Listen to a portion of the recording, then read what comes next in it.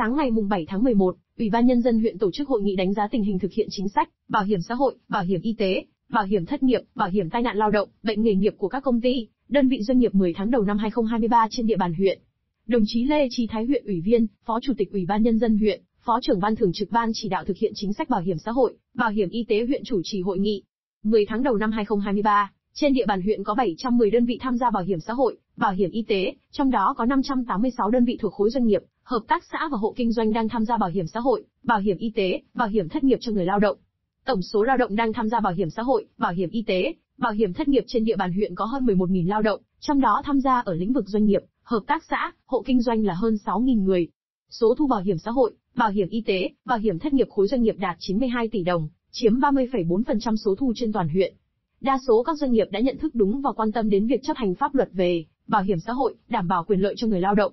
Tuy nhiên, nhiều doanh nghiệp gặp khó khăn trong sản xuất, kinh doanh, một số doanh nghiệp phải hoạt động cầm chừng, việc làm và thu nhập của người lao động không ổn định dẫn đến không có khả năng đóng bảo hiểm xã hội đúng hạn, nợ tiền bảo hiểm xã hội, ảnh hưởng không nhỏ đến chính sách an sinh xã hội trên địa bàn huyện. Tại hội nghị, các đại biểu đã trao đổi, thảo luận làm rõ những kết quả đã đạt được. Đồng thời, chỉ ra những khó khăn, vướng mắc trong quá trình thực hiện chính sách bảo hiểm xã hội, bảo hiểm y tế trên địa bàn huyện. Đại biểu cũng đưa ra một số đề xuất, kiến nghị nhằm nâng cao hiệu quả thực hiện công tác này trong thời gian tới.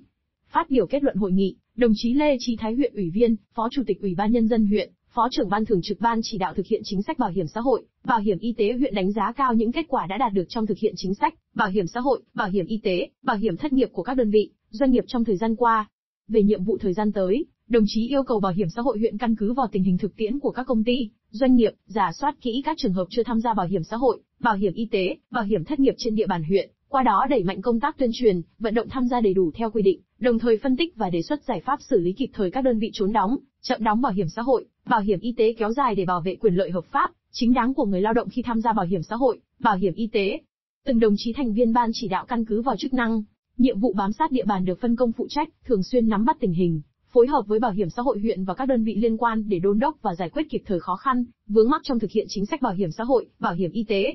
Các cơ quan đơn vị liên quan tích cực phát huy tinh thần trách nhiệm, tăng cường công tác thanh tra, kiểm tra, củng cố hồ sơ để có cơ sở nhắc nhở, đôn đốc đối với các đơn vị chậm đóng, trốn đóng bảo hiểm xã hội, bảo hiểm y tế, bảo hiểm thất nghiệp trên địa bàn huyện.